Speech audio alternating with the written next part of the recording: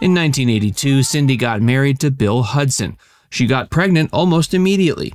This lined up with the beginning of filming of the eighth season of Laverne and Shirley. At first, Williams didn't think it would be too much of an issue, but it never got to that point, since when it came to schedule negotiations, things soured quickly. Williams said that when she looked at their proposed shooting schedule, they had her slated to work up until the final days of her pregnancy and even had her on the schedule for her baby's due date.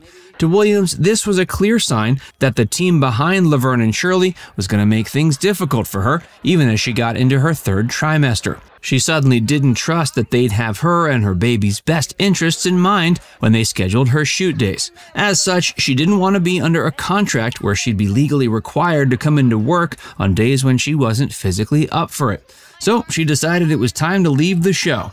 After the second episode of that eighth season, Shirley was written out.